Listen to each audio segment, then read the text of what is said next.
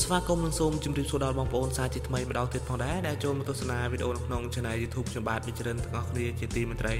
នៅពេលនេះដែលខ្ញុំមានវីដេអូមួយទៀតហើយដើម្បីចែករំលែកបងប្អូនយើងបានឃើញអំពីទស្សនវិជ្ជានៅប្រទេសកម្ពុជាយើងនាពេលបច្ចុប្បន្នទីតាំងដែលខ្ញុំកំពុងតែបង្ហាញនេះគឺស្ថិតនៅបាទវត្តបងប្អូនគឺវត្តបាទបតុមគិរីវត្តហៅវត្តលើដែលស្ថិតនៅលើភ្នំបាទនៅលើភ្នំកូនដំរីដែលបាទកំរីនៅឃុំដំណាក់កំទួតខាងជើង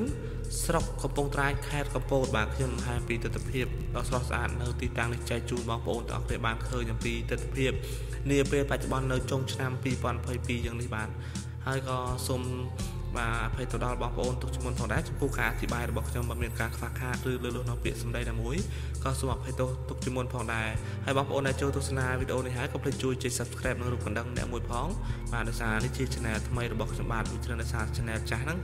បាទខូចបងប្អូនអញ្ចឹងបងប្អូនអាចចូលទស្សនាវីដេអូថ្មីថ្មីនៅក្នុង Channel YouTube បាទខ្ញុំបាទថ្មីបាទគឺឈ្មោះ Vichran Cambodia បាទនឹងថតទស្សនវិជ្ជាពី ប្រទេសកម្ពុជាក៏ដូចទស្សនវិជ្ជាផ្សេងៗនៅប្រទេសកម្ពុជាចែកជូនបងប្អូនទាំងអស់គ្នាបានទស្សនាជារៀងរាល់ថ្ងៃផងដែរបាទឥឡូវទស្សនាទស្សនវិជ្ជាបាទជុំវិញនៃវត្តបាទបតុមគិរីវត្តហៅវត្តលើ ដែលស្ថិតនៅក្នុង